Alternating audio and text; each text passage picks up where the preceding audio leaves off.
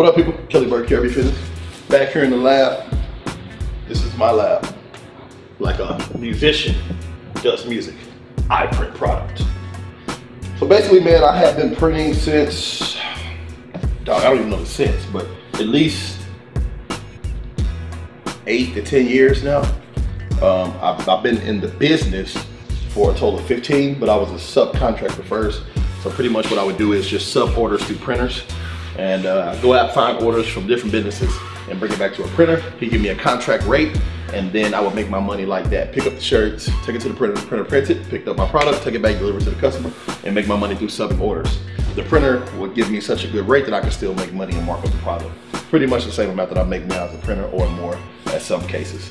Um, and you can do that as well. Anybody can do that. That's how I got into t-shirt printing. So anybody out there that wants to hustle some t-shirts and start your own t-shirt printing business without printing, can sub orders through me or your local printer will give you a contract rate. And that allows you to be able to make money off of other people's orders. You know, you set up your own business that way.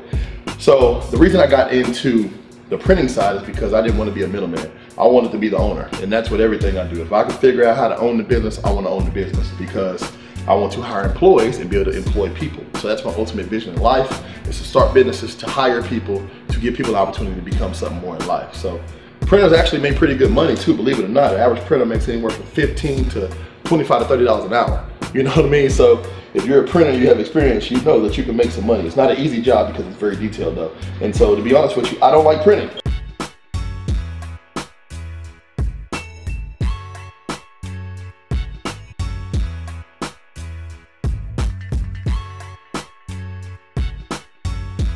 I'm a fairly decent printer, but I didn't, again, I didn't get into the business to be a printer. I got into the business to be a uh, owner of the business. So I had to learn the business. Now I learned it, you know, let's move on past that.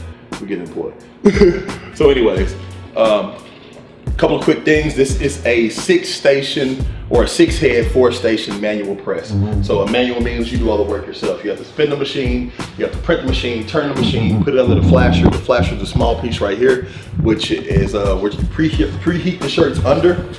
And then it goes from there under the dryer, which puts the image all the way on the shirt. Um, and this is an older dryer. I think it gets over 300 plus degrees. That flasher, I'm not sure what temperature it gets to because it's old. And uh, brings me to another topic.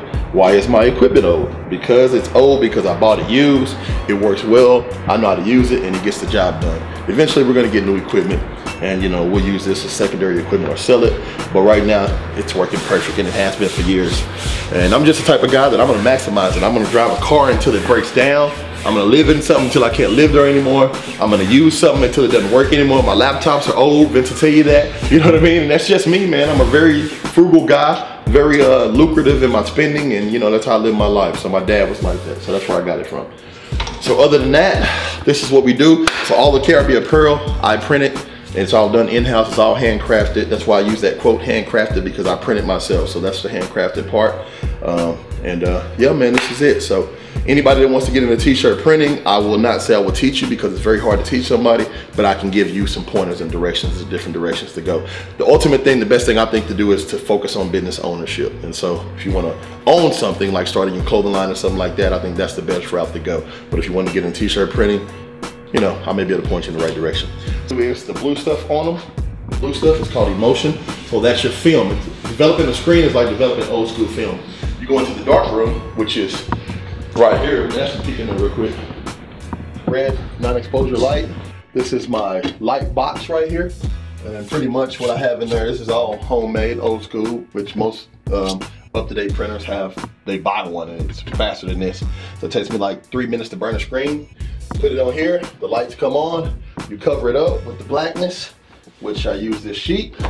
Cover it up with this cover, put the weights on top of it, let it burn for three minutes. I take it on, pull the image off, which these are the images. That's how they look, that's what the artwork tray does.